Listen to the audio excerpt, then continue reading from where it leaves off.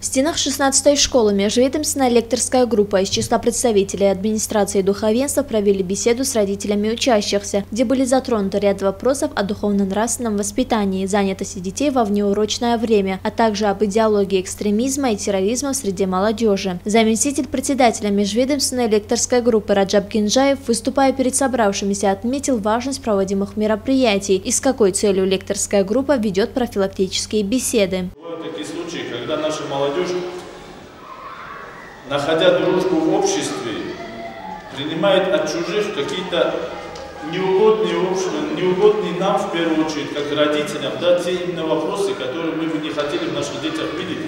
То, что они начинают осуждать ту или иную религию, например, христианство, иудаизм.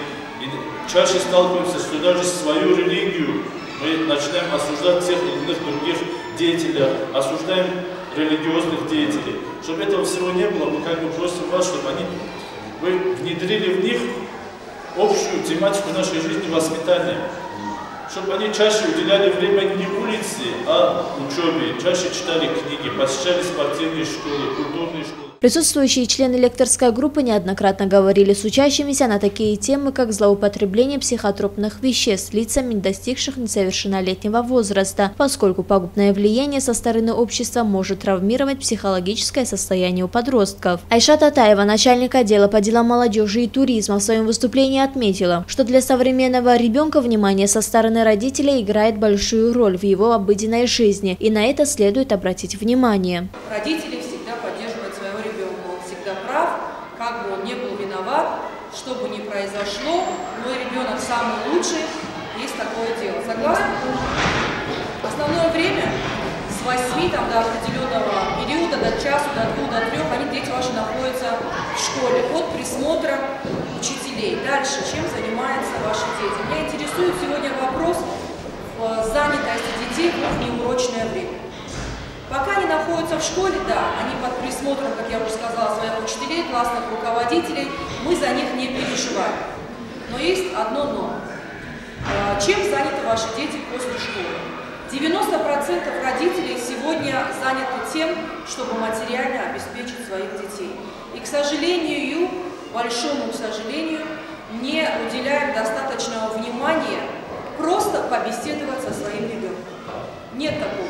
Вот пришел ребенок со школы, разницы нет какой-то класс, 10, 11, 1 или какое-то среднее звено, спросить, кто сегодня к вам в школу приходил, чем вы сегодня занимались, покажи дневник, покажи тетрадь.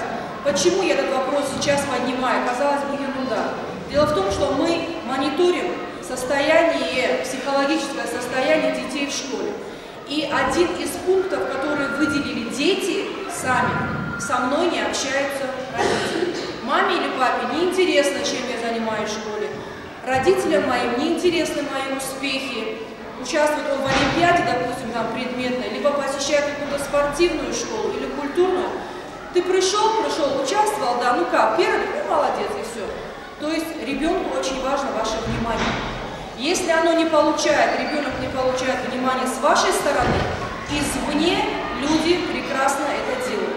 Магомед Ариф Дарбишев, представитель отдела просвещения, привел множество примеров, где говорится о воспитании детей их родителями, которые должны уделять время ребенку не только в учебном процессе, но и проявлять инициативу развивать способности ребенка в различных сферах деятельности. Некоторые говорят, мой сын хороший, он связался с кем-то, с плохим, и так получилось. Да, если он связался с плохим человеком, понятно, почему вы допустили, что он связался с плохим человеком? Значит, он не дали воспитание, что этот человек не дали такое условие, которое он может различать плохое и хорошее.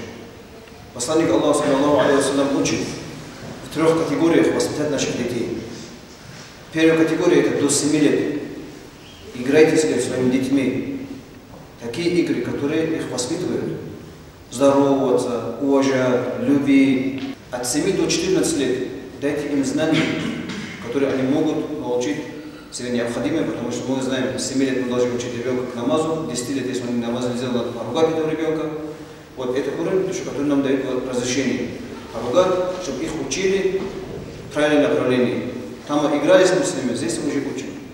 Уже с 14 до 21 года, пока им 21 лет не будет, вот то, что, которое мы дали им воспитание играми и те знания, которые ребенок приобрел за это время, соответствует ли он с этим своим деяниями, мы должны контролировать ребенка до 21 года. Есть вот три категории, как посланник Аллаха, саллаллаху алейхи как нас учил, если мы вот так будем воспитывать, значит после 21 года ребенка мы знаем, что у нас есть готовый, хороший человек, который от него есть и польза для общества, и от него нет вреда никому. Как отметили инициаторы данной встречи, в планах лекторской группы множество посещений среднеспециальных учебных заведений и школ города, продолжив, что эти мероприятия направлены на то, чтобы обратить внимание общественности к проблемам, которые возможно решить лишь общими усилиями. Бурлея Цамбиева, Пермагомед Пермагомедов, информационная программа «Пульс».